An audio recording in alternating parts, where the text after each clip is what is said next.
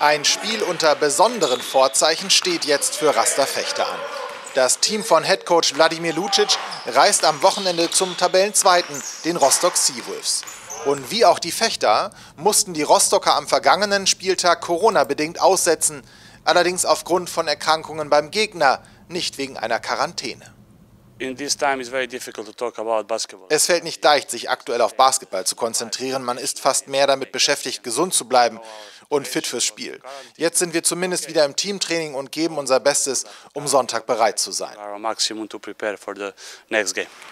Im Team der Fechter hat kein Spieler eine Rostocker Vergangenheit. Bittere Erfahrungen allerdings sammelte Raster in der Hinrunde gegen die Seewölfe. Am ersten Spieltag verlor man zu Hause mit 54 zu 68 gegen den Aufstiegskandidaten. Als ein solcher galt Raster damals in der öffentlichen Wahrnehmung auch noch. Allein diese Annahme bestätigte sich nicht. Rostock hingegen eilte von Sieg zu Sieg und steht mittlerweile bei 15 Erfolgen in 19 Spielen. Rostock ist ein sehr gutes Team, das mit seinen erfahrenen Point Guards den zurzeit vielleicht besten Basketball in der Liga spielt. Aber wir müssen uns auf uns konzentrieren. Geben wir unser Bestes, wird es ganz sicher ein enges Spiel.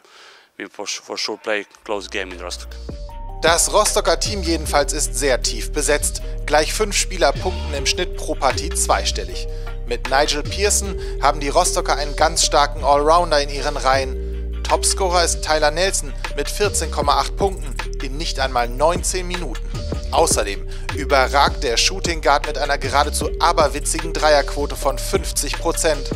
Auch Sid Marlon Tice und Jordan Rowland treffen sehr zuverlässig von jenseits der 6,75 Meter. Yeah, yeah, for sure. Ja, das stimmt auf jeden Fall, dass Rostock sehr gut von außen trifft. Nelson sogar sensationell gut. Sie haben sehr clevere Guards in ihren Reihen. Dazu kommt ja auch noch Chris Carter mit gut sechs Assists pro Partie. Unser Ziel muss es sein, die Guards nicht zur Entfaltung kommen zu lassen, gerade von außen. Und dann müssen wir natürlich die weiteren Details finden, die uns eine Siegchance geben. Die eigenen Stärken aufs Parkett kriegen, am besten über 40 Minuten, die große Herausforderung für Raster in den letzten Wochen. Nach zuletzt drei Niederlagen in Serie plus anschließender Quarantäne für einen Teil des Teams, jedenfalls lechzt der Tabellen 14. nach einem Erfolg. Und ein Überraschungssieg gelang schließlich schon einmal beim Tabellenführer in Jena. Ob es den auch in Rostock gibt, sieht man am Sonntag live und kostenlos ab 16.30 Uhr auf www.sportdeutschland.tv.